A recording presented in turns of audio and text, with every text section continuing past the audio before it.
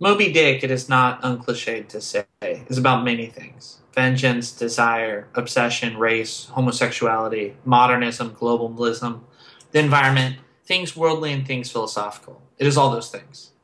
I also think it is a response to the Mexican American War. Before the politically divisive Iraq War and the even more politically divisive Vietnam War, there was the Mexican American War.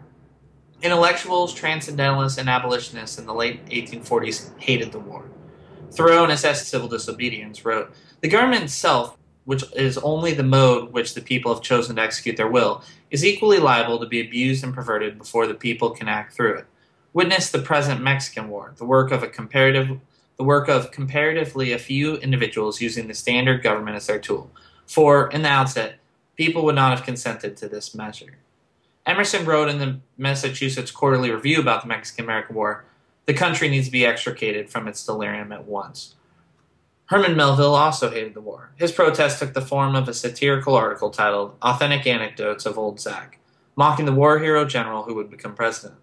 Throughout the series, General Taylor engages in a series of ridiculous battlefield actions, such as defusing a Mexican mortar shell while his men go running. All the links are there. The Mexican American War, one of the most important political events of the 1840s, ended in 1847. Moby Dick was released in 1851. Mexico pres- Mexico's president, Santa Anna, only had one leg, just as Ahab. And we know in the community that Melville lived, New England, many of Melville's contemporaries and literary heroes hated the war. We know, looking at the articles Melville wrote, that Melville himself hated the war.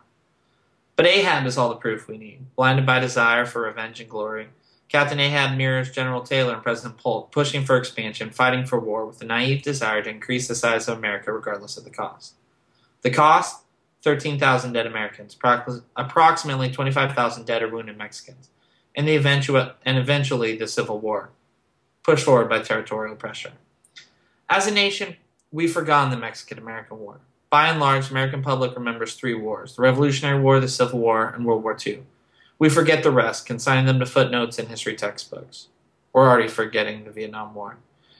And as we forgot the Mexican American War, we forgot that Moby Dick was railing against it taken two college courses on Moby Dick. I've read numerous articles, listened to public radio programs and interviews, and I just scoured 250 pages of annotation in my critical edition of the book.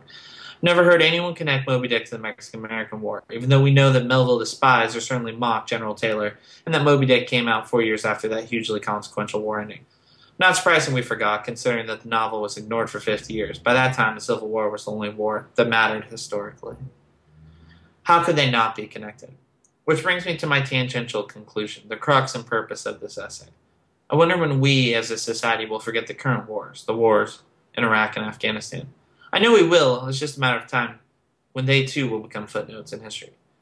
But these wars will inspire great works of art. They already have. In time, their connection to current events will be forgotten. But like Moby Dick and Cap and Ahab, at least the art and the lesson will remain.